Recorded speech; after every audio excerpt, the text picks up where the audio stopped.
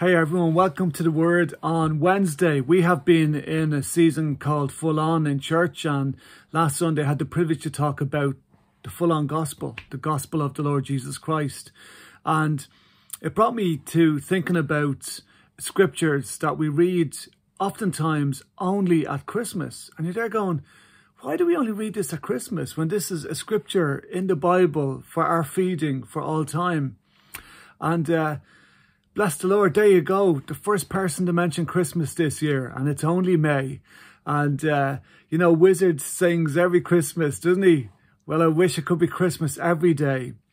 And the thing about the good news, these glad tidings, this gospel is that I can genuinely feel like it's the Christmas feels every day when we embrace the truth of the gospel, the joy of the gospel, and the life of the gospel. And so I was thinking there uh, just yesterday about the scripture where the angels appear to the shepherds and the shepherds are completely freaked out. And we read in Luke 2, verse 10 to 12, the angel said to them, Do not be afraid. I bring you good news that will cause great joy for all the people. Great joy for all the people. You're part of all the people.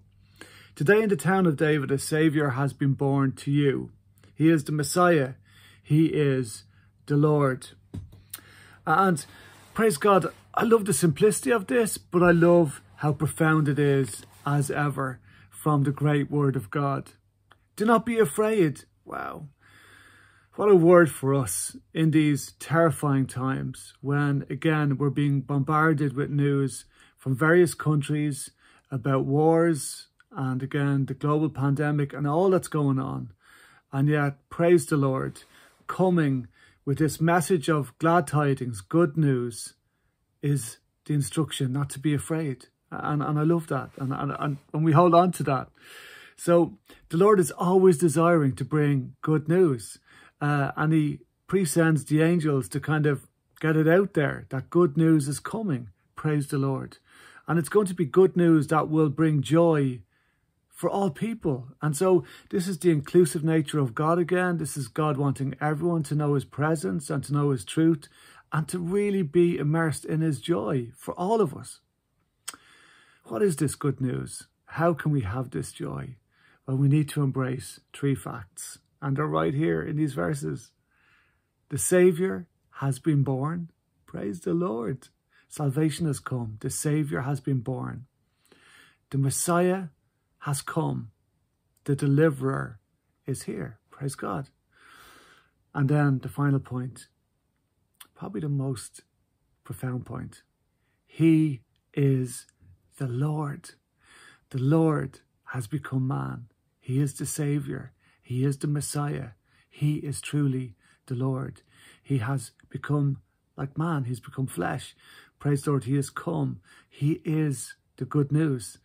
And he carries praise the Lord, all that we need so that we can have joy. And I, I want to encourage people today that are just full of fear. Do not be afraid. Praise the Lord. You don't have to wait till Christmas to hear this scripture or to embrace its truth. And it's great to be reminded again that you have a fantastic Saviour who is mighty to save.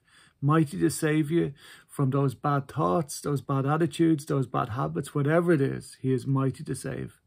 It's fantastic for you to know that the Messiah, the deliverer, has come.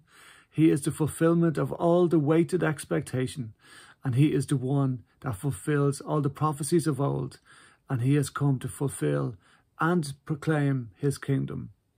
Blessed be the name of the Lord.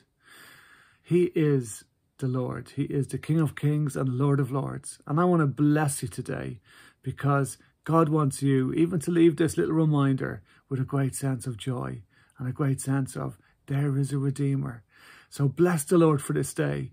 Bless the Lord that I wish it could be Christmas every day. Well, there you go. There is joy for you this very day. Just again, go to the gift of this Christ. Remind yourself how great he is and be blessed in his presence. God bless you and have a great day in Jesus' name. Thank you.